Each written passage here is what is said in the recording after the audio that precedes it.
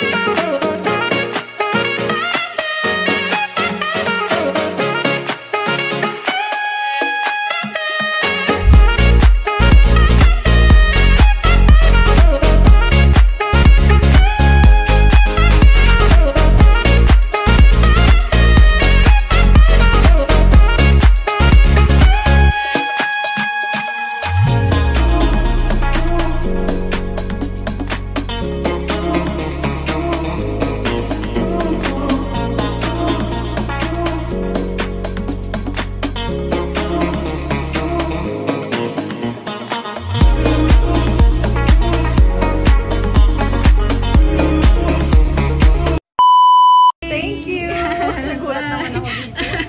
Buti naman. Save artwork. Dati ko pa gusto magkaroon ng ganito. Kaya thank you. Yeah. Ayan ha, pupunta ako. Late cut, late cut maaga, pero Okay lang.